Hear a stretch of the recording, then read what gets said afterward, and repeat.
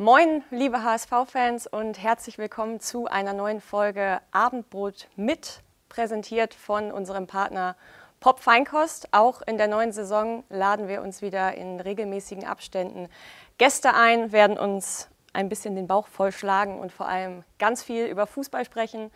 Und der erste Gast äh, der neuen Saison sitzt schon neben mir. Das ist unser U21-Trainer Hannes Drews. Moin, Hannes. Hallo Jude, grüß dich.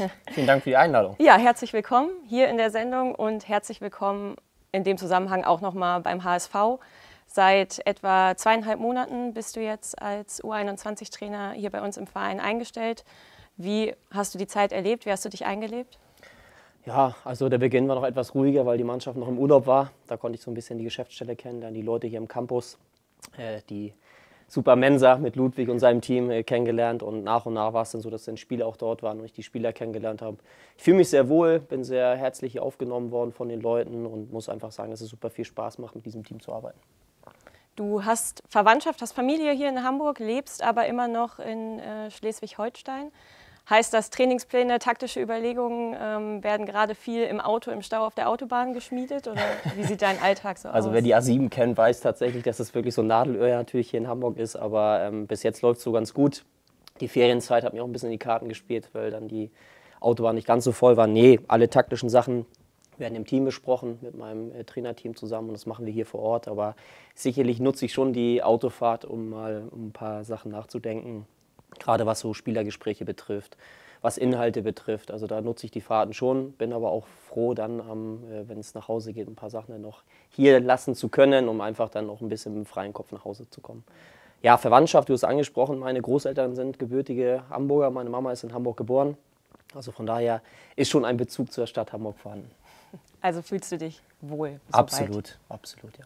Du hast in deiner Trainerkarriere ja im Jugendbereich schon ganz verschiedene Mannschaften trainiert, warst auch schon im Seniorenbereich tätig, sowohl amateurseitig als auch dann im Profibereich. Ähm, vielleicht kannst du die Zuschauer, die dich noch nicht so genau kennen, mal ein bisschen mitnehmen, wie es dazu gekommen ist, dass du Trainer geworden bist und was für dich eigentlich die Faszination an diesem Beruf auch ausmacht. Ja, also die, der Einstieg, sage ich jetzt mal so, wie ich zum äh, Trainerberuf gekommen bin, war eigentlich eher so, dass ähm, es so einen Lehrgang gab in Malente, damals in der Sportschule in Schleswig-Holstein, ähm, vom damaligen Verbandssportlehrer. Habe ich mich angemeldet, habe gedacht, das könnte ganz interessant sein. Damals war ich 16, so das war der Einstieg, um die erste Lizenz zu machen. Habe dann so nach und nach verschiedene Jugendmannschaften trainiert bei meinem Heimatverein, dem TuS Nordhof.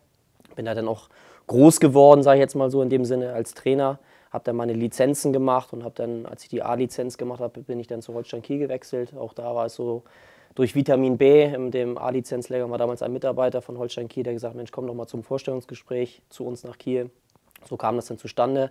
Habe dort äh, viele Jahre die U17 gemacht in der Junioren-Bundesliga, sind ein Jahr leider abgestiegen in die Regionalliga, aber gleich wieder aufgestiegen. Habe dann anderthalb Jahre die U19 gemacht bei Holstein Kiel und dann kam der Anruf aus äh, Aue, ähm, ja, und dann habe ich dieses Abenteuer zweite Bundesliga angenommen und bin gen Sachsen gewandert und habe dort in der zweiten Bundesliga ein bisschen Profiluft geschnuppert. Ja. Du hast es gerade schon angesprochen, du hast sämtliche Trainerlizenzen parallel zu deiner Trainertätigkeit ähm, erworben, bis hin dann zur höchsten deutschen Trainerlizenz, dem Fußballlehrer. Ähm, nimm uns doch mal ein bisschen mit zurück in diese Zeit. Wie war das? Da hast du wahrscheinlich auch viel Zeit auf der Autobahn verbracht.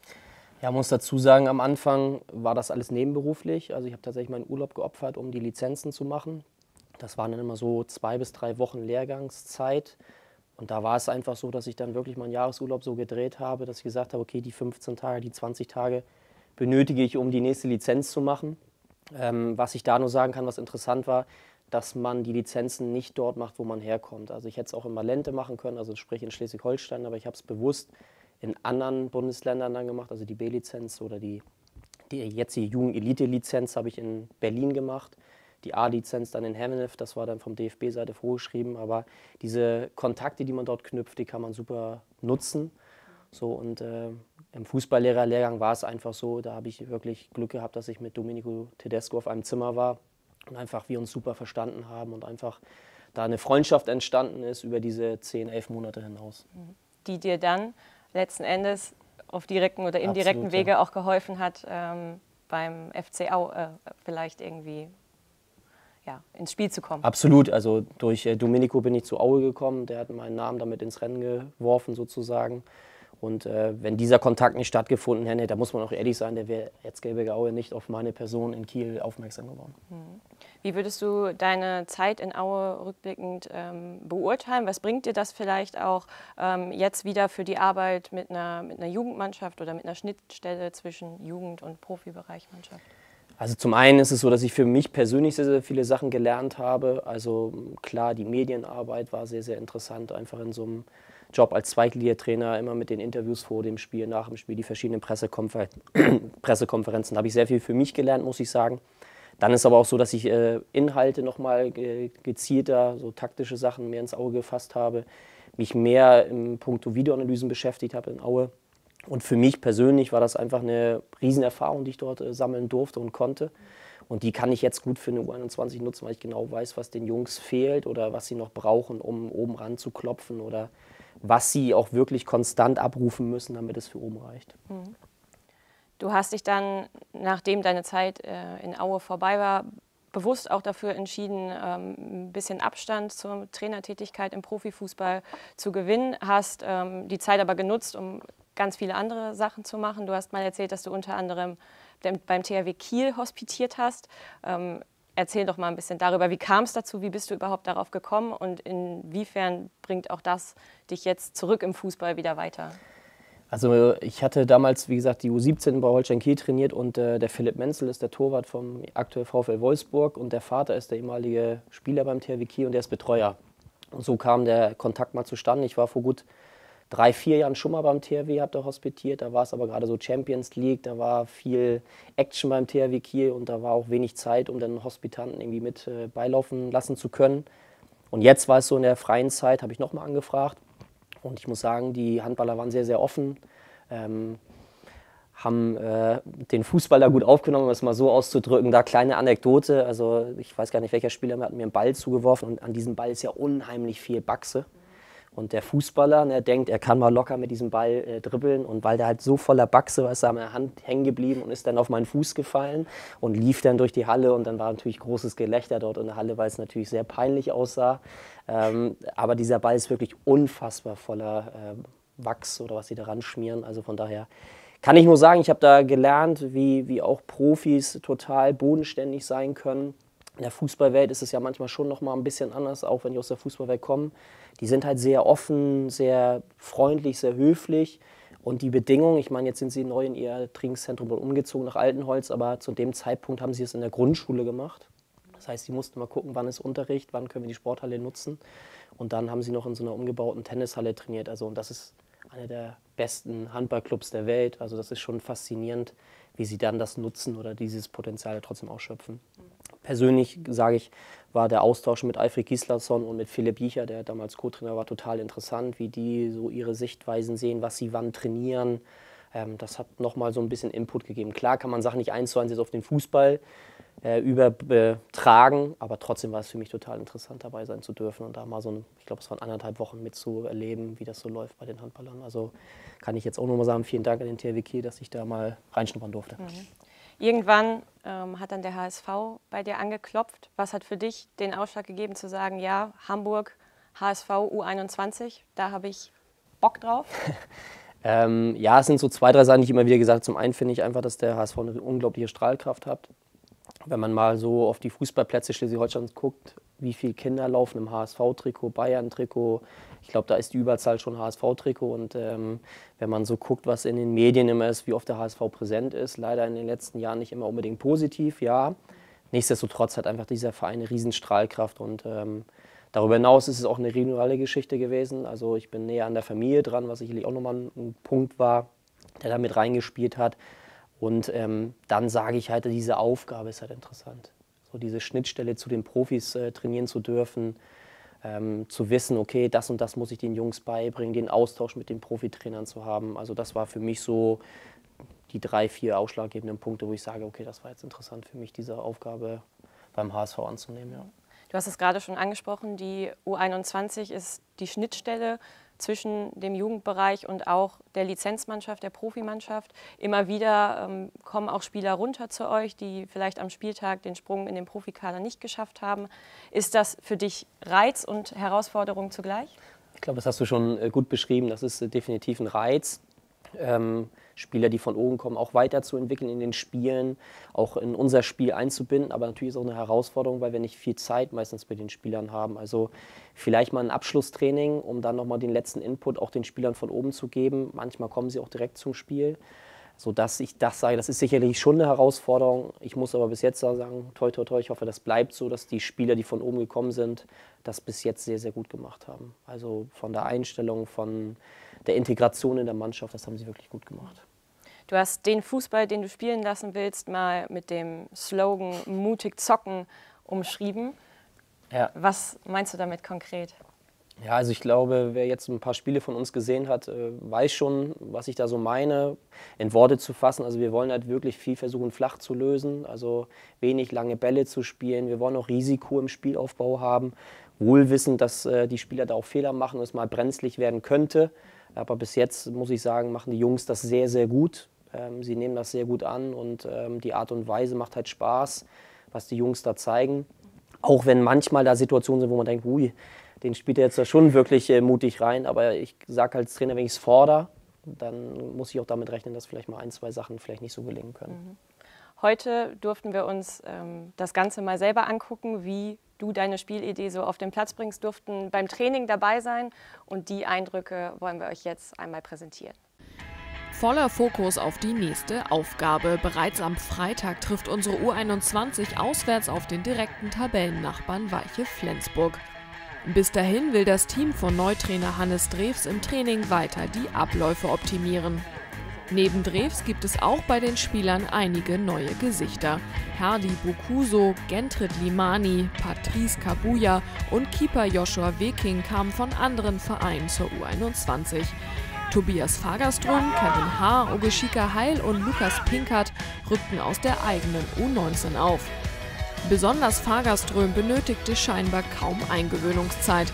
Der finnische Offensivspieler traf in vier Spielen fünfmal. Im Mittelfeld drehte bislang vor allem Sechser Maxi Geißen mit zwei Toren und zwei Vorlagen auf. Angeführt wird die junge Mannschaft weiterhin von Sebastian Haut, der schon seit vier Jahren für die U21 aktiv ist. Er bildet zumeist mit Henrik Gieser ein erfahrenes Defensivgespann. In der Regionalliga Nord läuft es für die Drews 11 bislang gut. Nach vier Spieltagen ist das junge Team noch ungeschlagen. Auf zwei hohe Auftaktsiege folgten zwei Unentschieden. Besonders in Erinnerung dürfte dabei das 3:3 gegen die U23 des VfL Wolfsburg bleiben. Bis 13 Minuten vor Schluss lag die U21 der Rothosen mit 1:3 zurück. Dann traf Fagerström mit einem sehenswerten Fallrückzieher. In der Nachspielzeit erzielte der mit aufgerückte Torwart Weking per Kopf noch den Ausgleich. Nach dem 1:1 gegen HSC Hannover soll nun in Flensburg wieder ein Dreier her.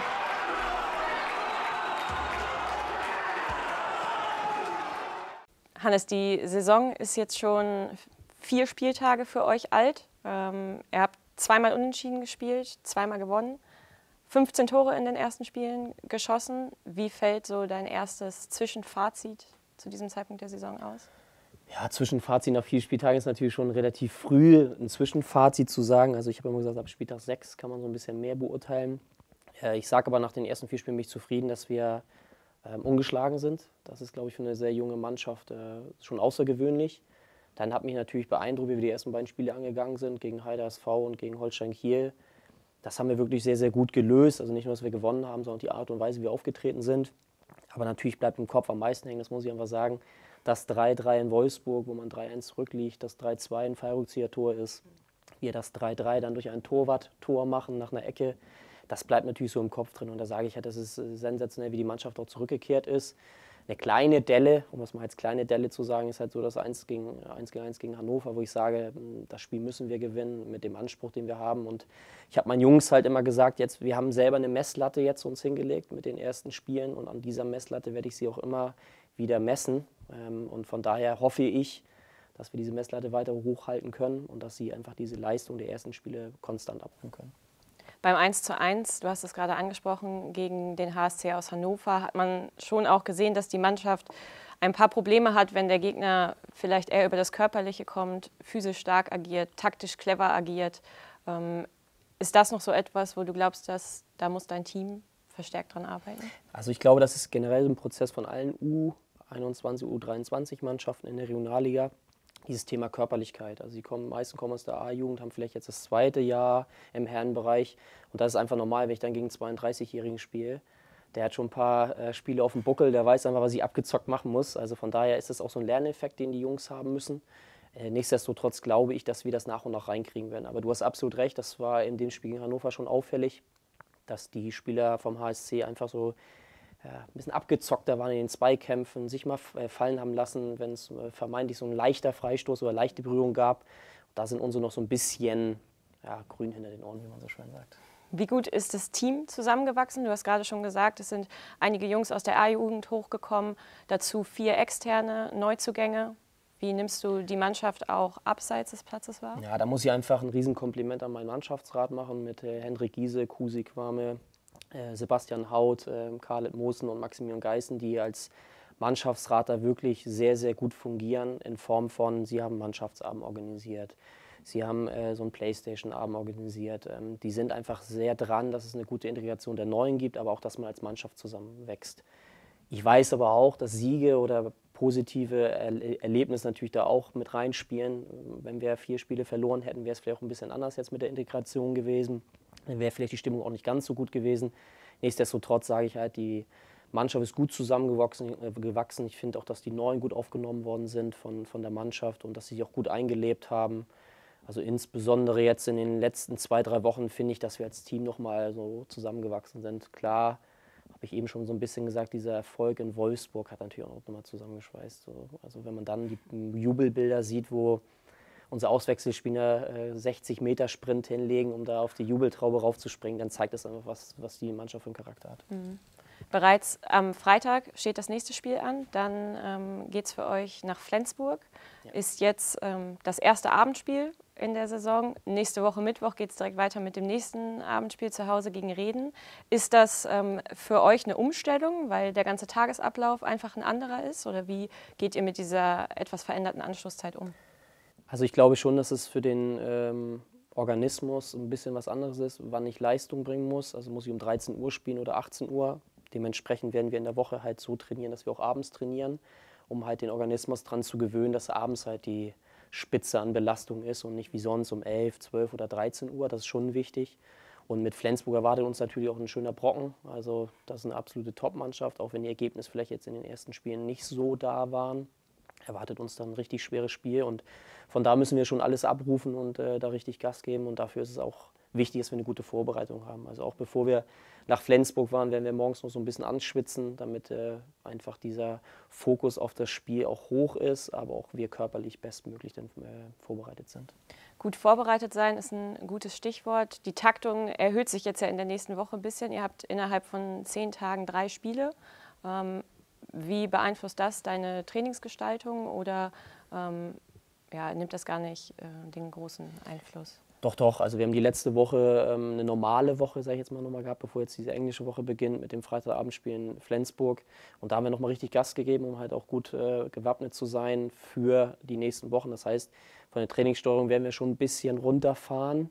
Ähm, ich nenne es immer so, wir werden nur vereinzelt Spitzen setzen, also nicht so häufig Spitzen setzen, sondern vereinzelt, sodass wir auch die hohe Intensität trotzdem mit in das Spiel nehmen können. Aber in so einer kurzen Woche oder in kurzen Wochen geht es einfach darum, taktisch uns bestmöglich auf den Gegner einzustellen, natürlich auch körperlich fit zu sein, aber da müssen wir aufpassen, dass wir gut regenerieren, dass wir wieder gute Spritzigkeit in die Beine bekommen, um dann das nächste Spiel angehen zu können. Ja.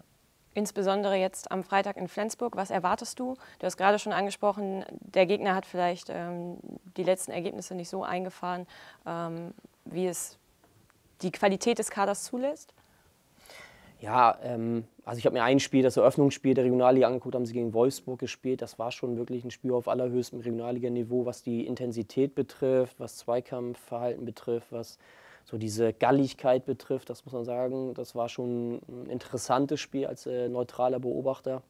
Ähm, für mich ist es halt wichtig, dass wir wissen, gegen was für eine Mannschaft wir spielen. So, das ist wirklich eine Mannschaft, die hat vor zwei Jahren um den Aufstieg in die dritte Liga gespielt, hat dort, glaube ich, in Relation gegen Cottbus verloren.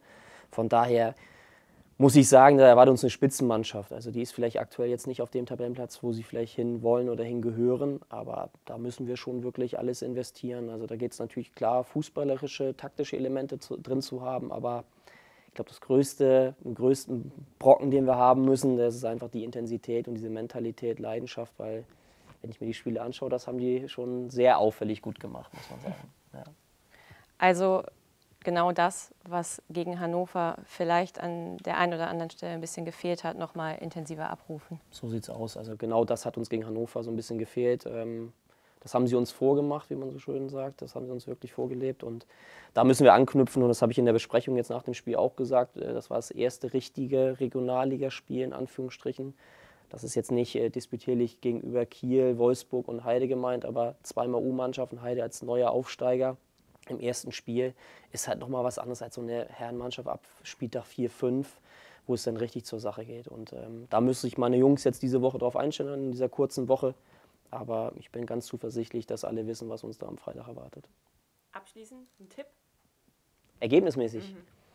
Ja, also wäre schlechter Trainer, wenn ich jetzt sagen würde, dass wir nicht gewinnen. Also wir fahren natürlich mit der totalen Überzeugung dahinter, dieses Spiel zu gewinnen. Äh, wir wollen ungeschlagen bleiben. Und ähm, ich glaube, wenn wir an den richtigen Stellschrauben drehen, ist da was möglich. Äh, müssen halt ein bisschen ja, die Intensität annehmen, müssen aber auch äh, wissen, wir wollen fußballerisch äh, überzeugen und ähm, dann wird es hoffentlich ein, ein, gutes Spiel mit hoffentlich dem besseren Ende dann für uns. Und äh, nochmal, wenn die Jungs das hinkriegen, diese Mischung zwischen fußballischer Qualität und dieser Mentalität, wenn sie es hinbekommen, dann gewinnen wir das Spiel. Wenn wir es nicht hinbekommen, wird es schwierig, da was mitzunehmen. Aber ich bin eigentlich aufgrund der ersten Gespräche, Einheiten sehr zuversichtlich, dass wir es gut lösen können dort. Wir drücken alle Daumen, die wir haben, Wir wünschen euch viel Erfolg. Hannes, vielen Dank für das Gespräch. Ähm, wir genießen jetzt noch ein bisschen unser Abendbrot und euch allen da draußen großes Danke fürs Zuschauen. Bis zum nächsten Mal. Ciao.